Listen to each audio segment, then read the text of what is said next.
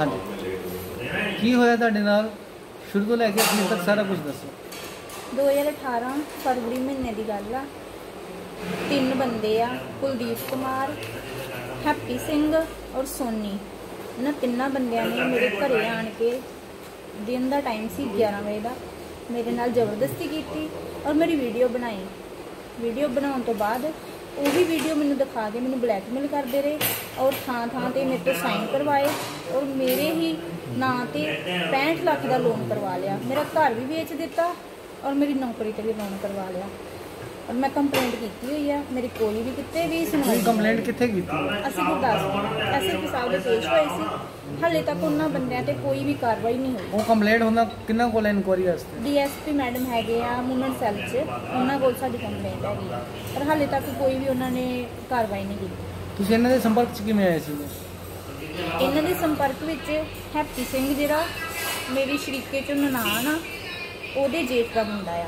ਉਹਦੇ, ਉਹਨੇ ਸਾਨੂੰ ਕੁਲਦੀਪ ਸਿੰਘ ਨਾਲ ਮਿਲਾਇਆ ਔਰ ਉਦੋਂ ਦੀ ਸਾਡੀ ਵਾਕਦੀ ਹੋ ਗਈ ਇਹਨਾਂ ਨਾਲ। ਉਸ ਤੋਂ ਬਾਅਦ ਇਹਨਾਂ ਨੇ ਸਾਡਾ ਸਾਰਾ ਕੁਝ ਲੁੱਟ ਲਿਆ, ਸਭ ਕੁਝ ਬਰਬਾਦ ਕਰਤਾ ਸਾਡਾ। ਔਰ ਸਾਨੂੰ ਬਲੈਕਮੇਲ ਕਰ ਰਹੇ ਆ, ਕਰੈਕਟਰਲੈਸ ਕਹਿ ਰਹੇ ਆ, ਇਲਜ਼ਾਮ ਲਗਾ ਰਹੇ ਆ ਸਾਡੇ ਤੇ, ਸ਼ਰੇਆਮ, ਔਰ ਕੋਈ ਵੀ ਸਾਡੀ ਸੁਣਵਾਈ ਨਹੀਂ ਹੋ ਰਹੀ। ਠੀਕ ਹੈ ਤੇ ਜਦੋਂ ਤੁਹਾ- ਤੁਹਾਡਾ ਰੇਪ ਹੋਇਆ, ਤੁਹਾਡੀ ਨੇ ਵੀਡੀਓ ਬਣਾਈ, ਤੁਸੀਂ ਉਸ ਟਾਈਮ ਪੁਲਿਸ, ਤੁਸੀਂ ਆਪ ਪੁਲਿਸ ਦੇ ਵਿੱਚ ਕਿ ਪੁਲਿਸ ਦੇ ਕੋਲ ਕਿਉਂ ਨਹੀਂ ਗਏ? ਮੈਂ ਡਰਦੀ ਨਹੀਂ ਗਈ ਕਿਉਂਕਿ ਮੈਨੂੰ ਡਰਾਇਆ ਧਮਕਾਇਆ ਗਿਆ ਸੀ ਕਿ ਤੇਰੇ ਬੱਚੇ ਮਾਰ ਦਾਂਗੇ ਤੈਨੂੰ ਮਾਰ ਦਾਂਗੇ ਅਗਰ ਤੂੰ ਕਿਸੇ ਨੂੰ ਦੱਸੇਂਗੀ ਤੇ ਉਸ ਤੋਂ ਬਾਅਦ ਮੈਂ ਉਹ ਘਰ ਵੀ ਛੱਡ ਦਿੱਤਾ ਡਰਦੀ ਨਹੀਂ ਮੈਂ ਉਸ ਘਰ ਵਿੱਚ ਨਹੀਂ ਰਹੀ ਫਿਰ ਮੈਂ ਮੈਂ ਆਪਣੇ ਪਿੰਡ ਚਲੀ ਗਈ। ਤੁਹਾਡੇ ਹਸਬੰਡ ਹੈਗੇ? ਨੇ ਨਹੀਂ ਮੇਰੇ ਹਸਬੰਡ ਨਹੀਂ ਹੈਗੇ। ਮੈਨੂੰ ਉਹਨਾਂ ਦੀ ਜੌਬ ਮਿਲੀ। ਉਹ ਪੰਜਾਬ ਪੁਲਿਸ ਦੇ ਵਿੱਚ ਪੰਜਾਬ ਪੁਲਿਸ ਵਿੱਚ ਸੀਗੇ। ਕਿਸ ਤਰੀਕੇ ਦੀਆਂ ਧਮਕੀਆਂ ਆਉਂਦੀਆਂ ਨੇ ਤੁਹਾਨੂੰ ਹੁਣ? ਇਹੀ ਕਿ ਤੇਰੀ ਬੇਟੀ ਨਾਲ ਗਲਤ ਕਰਾਂਗੇ ਅਸੀਂ। ਜੋ ਤੇਰੇ ਨਾਲ ਕੀਤਾ ਉਹੀ ਤੇਰੀ ਬੇਟੀ ਨਾਲ ਕਰਾਂਗੇ। ਅਗਰ ਤੂੰ ਇਹ ਕੰਪਲੇਂਟ ਵਾਪਸ ਨਹੀਂ ਲਏਂਗੇ ਤੇ ਤੈਨੂੰ ਸ਼ਰੇਆਮ ਨੰਗੀ ਕਰਾਂਗੇ ਤੇਰੀ ਬੇਟੀ ਨੂੰ ਵੀ। ਇਹੋ ਜਿਹੀਆਂ ਧਮਕੀਆਂ ਦੇ ਰਹੇ ਆ ਸਾਨੂੰ। ਔਰ ਤੇਰੇ ਬੱਚਿਆਂ ਨੂੰ ਮਾਰ ਦਾਂਗੇ। ਇਹ ਧਮਕੀਆਂ ਦਾ ਸਿਲਸਿਲਾ ਕਿੰਨੇ ਟਾਈਮ ਤੋਂ ਚੱਲ ਰਿਹਾ? ਇਹ ਸਰ ਕੋਈ ਤਕਰੀਬਨ 2 ਸਾਲ ਹੋ ਗਏ ਇਸ ਗੱਲ ਨੂੰ। ਹਾਂਜੀ। ਹੁਣ ਤੁਸੀਂ ਇਨਸਾਫ ਲੈਣ ਲਈ ਆਏ ਹੋ? ਹਾਂਜੀ। ਸਾਹਮਣੇ ਹਾਂਜੀ।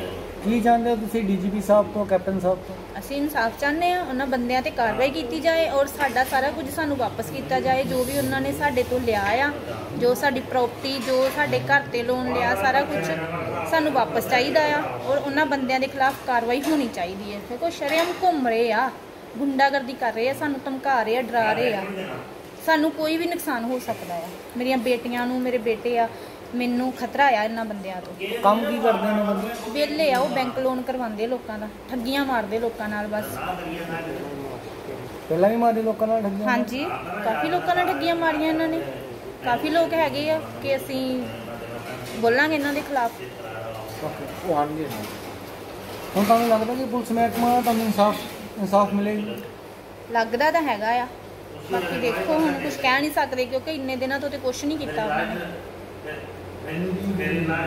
ਪੰਜਾਬ ਦੇ ਡੀਜੀਪੀ ਦਿਨਕਰ ਗੁਪਤਾ ਜੀ ਤੋਂ ਪੰਜਾਬ ਦੇ ਸੀਐਮ ਕੈਪਟਨ ਅਮਰਿੰਦਰ ਸਿੰਘ ਜੀ ਤੋਂ ਤੁਸੀਂ ਕੀ ਮੰਗ ਰੱਖਦੇ ਹੋ? ਉਹਨਾਂ ਤੋਂ ਇਹੀ ਮੰਗ ਕਰਦੀ ਆ ਕਿ ਮੈਨੂੰ ਇਨਸਾਫ ਮਿਲੇ। ਮੇਰੀ ਪ੍ਰਾਪਰਟੀ ਜੋ ਵੀ ਇਹਨਾਂ ਨੇ ਹਰਪਲੀ ਆ ਵੇਚ ਦਿੱਤੀ ਆ ਮੈਨੂੰ ਵਾਪਸ ਮਿਲੇ। ਠੀਕ ਆ ਔਰ ਇਹਨਾਂ ਬੰਦਿਆਂ ਦੇ ਖਿਲਾਫ ਕਾਰਵਾਈ ਕੀਤੀ ਜਾਵੇ ਕਿਉਂਕਿ ਮੈਨੂੰ ਇਹਨਾਂ ਤੋਂ ਖਤਰਾ ਆ। ਇਹ ਕਿਸੇ ਪੋਲੀਟੀਕਲ ਪਾਰਟੀ ਨਾਲ ਵੀ ਅਟੈਚ ਨੇ ਬੰਦੇ? ਇਸ ਚੀਜ਼ ਬਾਰੇ ਮੈਂ ਕੁਝ ਨਹੀਂ ਕਹਿ ਸਕਦੀ। ਇਹਨਾਂ ਦੇ ਪਿੱਛੇ ਕੋਈ ਪੋਲੀਟੀਕਲ ਬੰਦਾ ਆਉਂਦਾ ਵਾ? ਹਾਂਜੀ ਇਹ ਤਾਂ ਬਹੁਤ ਧਮਕਾਉਂਦੇ ਆ ਸਾਨੂੰ ਕਿ ਸਾਡੇ ਪਿੱਛੇ ਫਲਾਣਾ ਆ ਇਹ ਆ ਉਹ ਆ ਬਹੁਤ ਬੰਦਿਆਂ ਦੇ ਨਾਮ ਕਿਹੜੇ ਬੰਦੇ ਨਾਮ ਲੈਂਦੇ ਨੇ ਇਹ ਤਾਂ ਸਾਨੂੰ ਬਟ ਹਲੇ ਤੱਕ ਕੁਝ ਯਾਦ ਨਹੀਂ ਆ ਪਰ ਨਾਮ ਬਹੁਤ ਬੰਦਿਆਂ ਦੇ ਲੈਂਦੇ ਆ ਕਿ ਸਾਡੇ ਪਿੱਛੇ ਫਲਾਣਾ ਆ ਢਿੰਗਰਾ ਆ। ਜਿੱਥੇ ਵੀ ਅਸੀਂ ਕਿਤੇ ਕੰਪਲੇਂਟ ਕਰਨੇ ਉੱਥੇ ਫੋਨ ਕਰਵਾਈ ਜਾਂਦੇ ਆ। ਸਾਡੀ ਸੁਣਵਾਈ ਨਹੀਂ ਹੋਣ ਦਿੰਦੇ। ਪਠਾਨਕੋਟ ਕੰਪਲੇਂਟ ਕੀਤੀ ਮੈਂ ਉੱਥੇ ਵੀ ਇਹਨਾਂ ਨੇ ਮੇਰੀ ਕੋਈ ਵੀ ਸੁਣਵਾਈ ਨਹੀਂ ਹੋਣ ਦਿੱਤੀ।